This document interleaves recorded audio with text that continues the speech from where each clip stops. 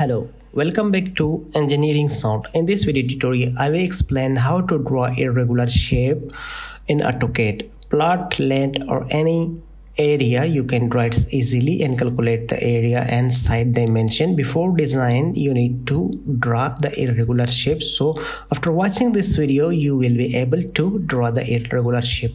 For example we have the sketch of a land. So we will draw the same 100 feet 130 114 75 and in the middle you can see 164 so the same cage sketch we will draw in AutoCAD. Let's jump in AutoCAD and start the tutorial. First first of all we will use the base. You can see image on the top left corner okay? Let's draw a baseline of 100 feet okay? And draw a circle on the this first corner on the right corner of 130 feet. You can see the vertical length in the image 130 feet.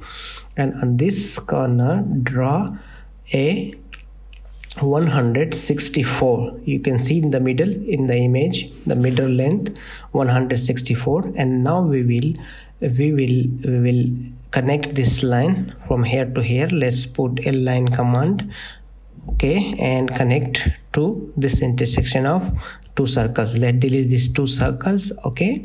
Now our this 130 is draw successfully. And the next we will put circle on this top okay? Enter and enter the 114.12 okay 1 2 you can see in the image the dimension the circle. And now the next we will enter 75 one okay? 75 length see the image circle enter okay? 75 enter the 75 and enter. Now we will again connect this line with the intersection point okay? Use a line command and connect it up to here or the other one okay let's connect first this and again the line from here to here. Okay and press enter. Let's delete the two circles. We don't need these circles.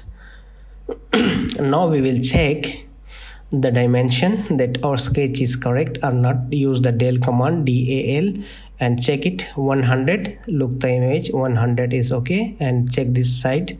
130 look at image. 130 it's 100 percent okay. And look at this dimension okay.